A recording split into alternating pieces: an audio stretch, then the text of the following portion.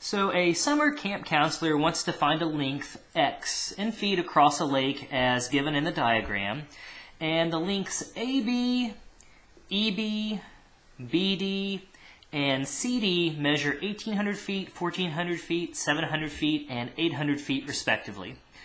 Um, segments AC and segments DE intersect at this point B, and we're given that the angle AEB, which is this angle here, and CDB, which would be this angle here, have the same measure. We want to figure out what's the value of x. Okay, so I've got my, my diagram here. Let me go ahead and fill in the, the values. So, okay, so we're told that AB measures 1,800 feet.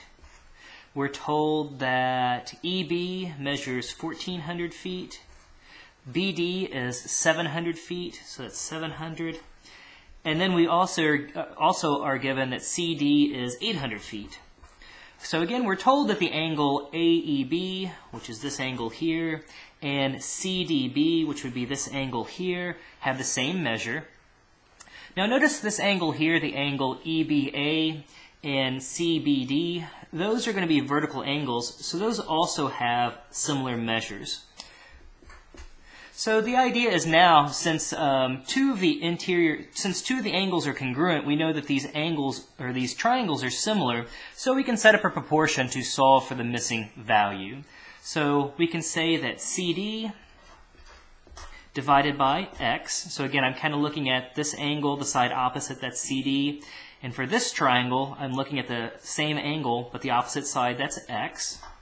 That's going to equal BD so BD is the, um, the side length opposite this angle that we didn't label. And we can divide that by EB, which will be, again, if we look at the other triangle, if we look at the angle that we didn't label, if we look at the side opposite, that'll be EB. And now we can simply fill in those values. So we said CD, that was equal to 800 divided by X. BD has a length of 700 and EB we said had a length of 1400. So now all we have to do is simply solve this for x and we'll have our solution. So let me take, uh, I guess, just one or two extra steps here for the algebra. One thing we can do is we can simply flip both fractions. So we can write this as x over 800 equals 1400 divided by 700. And then to solve for x, we can simply multiply both sides by 800 so we'll have 1400 over 700 multiplied by 800. Well, 1400 divided by 700, we can cancel out the zeros. 14 divided by 7 is 2. So we have 2 multiplied by 800. And that's going to give us a length of 1600 feet.